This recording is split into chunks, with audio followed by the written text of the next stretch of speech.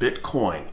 Is it a real currency or is it just an exploit to sell more GPUs on the marketplace?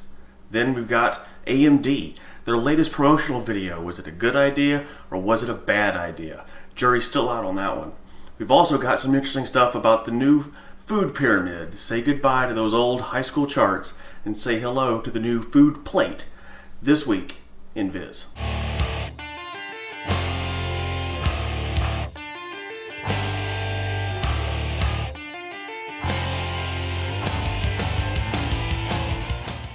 So this week's most popular story by far was a short write-up I did on Bitcoins and their use for GPGPU. Now, if you're not familiar with Bitcoins, all you've got to do is hit Google and you'll find more than you ever cared to know. Essentially, it's a new digital online uh, peer-to-peer based currency that's entirely based on computational work. Previously, this was done through a uh, CPU algorithm that they call mining, which is basically a brute force hash cracking algorithm uh, as the complexity grew, CPUs have become, you know, unusable basically, and everybody's moved to GPUs. Well, I wanted to try it. I've still got the Quadro 5000 left over from the reviews that NVIDIA gave me. Plus, I've got a couple of 285s laying around in the machine. Figured I'd try them out. Uh, I was able to eke out about 60 million hashes per second with my NVIDIA cards. And I found that the Fermi-driven Quadro 5000 was actually a full 10% slower than the 285s.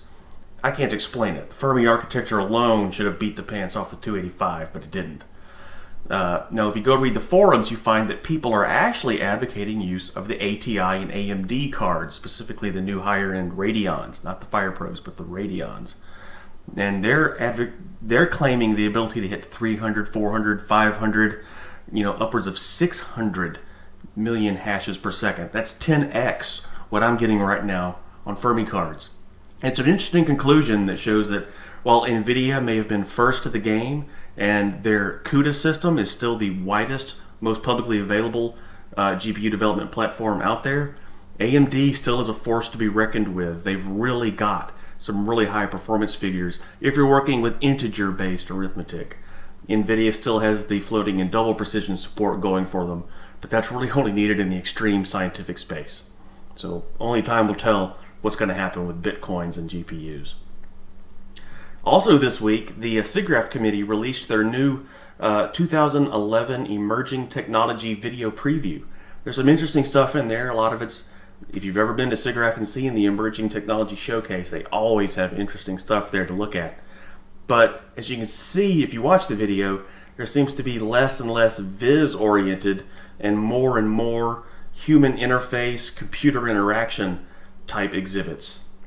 Not necessarily a bad thing, but seems to go more towards SIGGRAPH is getting away from Viz. Last year they had a big emphasis on uh, audio, and this year it seems they're going to have a big emphasis on human-computer interactions. So we'll just have to see what's going on with uh, the rest of the conference up in Vancouver this year. Now there was some big news this week out of both the AMD and the NVIDIA camps. We're going to start off with the AMD camp. Now, I've been saying for a long time that Fusion was a big deal. Uh, Intel tried it with Larrabee and it didn't work for them, but I knew that was going to be the future face of things. And AMD's proving that I was right. They just released a press release this last week saying that they've managed to ship 5 million of the Fusion APUs already. And it's only been out a few months. This is massive. This is going to the desktop space, mobile space, embedded space. It's going everywhere. And it really is going to be the uh, next big thing. You can see it already coming up with Intel Sandy Bridge. You can see NVIDIA trying to push it with Tegra. You can see everybody's trying to get on board with an integrated CPU, GPU, or APU, if you want to call it that. Also this week, in a somewhat entertaining spin, uh, several websites reported very briefly about an AMD marketing video called Good Idea, Bad Idea that showed, of course, uh, various people interested in upgrading their computers and taking the good idea of buying a nice low-priced, high-powered AMD FirePro card that could drive six displays with a reasonable amount of power rather than the uh, other unnamed vendor that was always shown with a green background that could only drive four displays with two graphics cards and cost $5,000 a piece and consume massive amounts of power.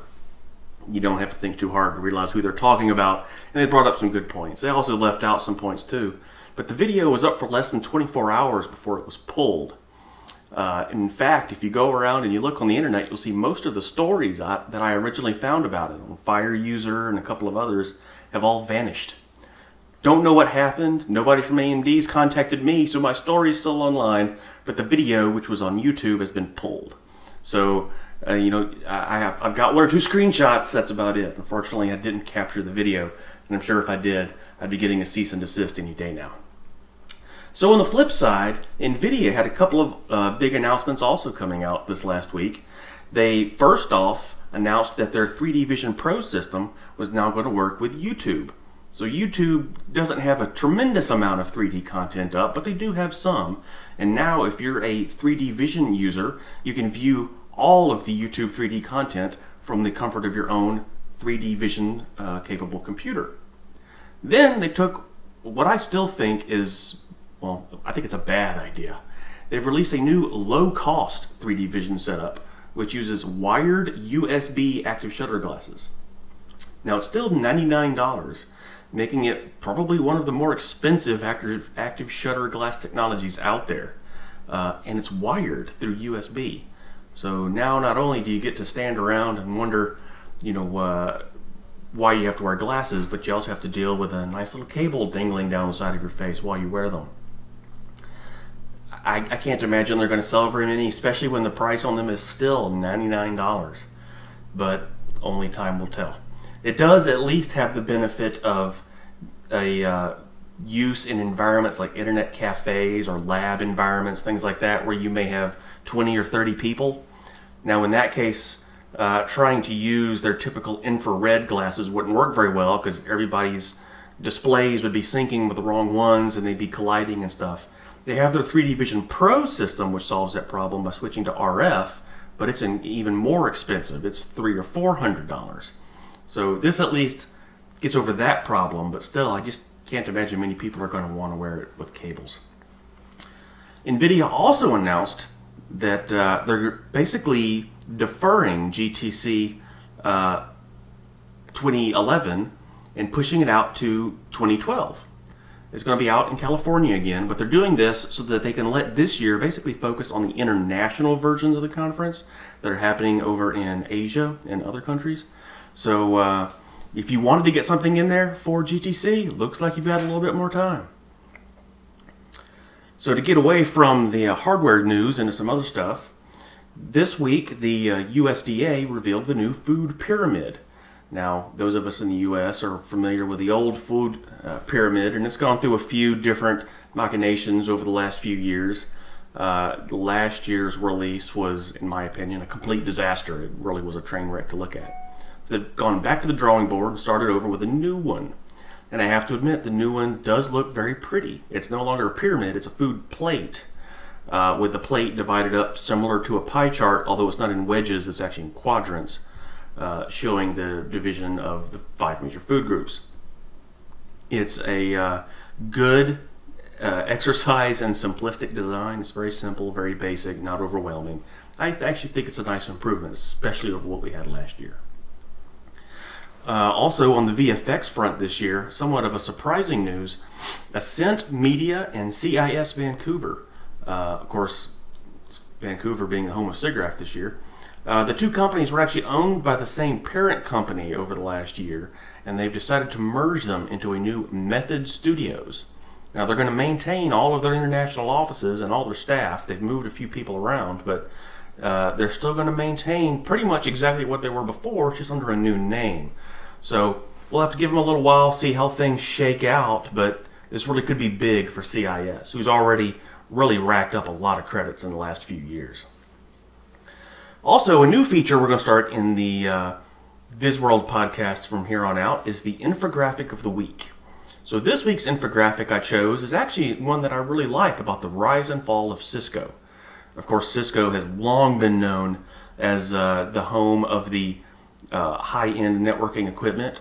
Over the last decade or so, they've tried to move more into the low end with their acquisition of Linksys and such, trying to branch out into more consumer space products. And then they had the flip. And of course, over the last month, I'm sure you've heard that the Flip finally died an unfortunate death. It's a real shame. It was a great little camera, great product, but when everyone's carrying an iPhone, what market is there for a pocket-sized video camera? Oh well. We'll just have to wait and see where Cisco decides to go next. But the infographics really nice, shows the history, some of the major events that have happened since the foundation of the company, and shows how they've grown and you know the sales have ebbed and flowed over time. Definitely want to go check it out. Got a thanks to uh, Tiago Veloso for posting that out in his daily viz. So be sure to go give him a shout out. Tell him he's doing a great job over at Visual Loop. So that concludes my return to the VizWorld podcast. I hope you liked it. Going to try to make this a weekly affair and keep checking back because I'm planning to have some big contests. I've got several posters laying around sent to me by various vendors uh, from various other infographics companies, so you might want to come check those out. Plus, I've got a couple of high-end NVIDIA Quadro cards I'm going to be raffling off here in the next few weeks. I've got a nice Quadro 5000 left over from the review, and they also sent me a previous generation Quadro card both of which I'll be raffling off to a couple of lucky VizWorld subscribers. So subscribe to the podcast, subscribe to the mailing list, subscribe to the RSS, come and comment on the website. Do everything you can to increase your chances of winning. Look forward to seeing you again next week.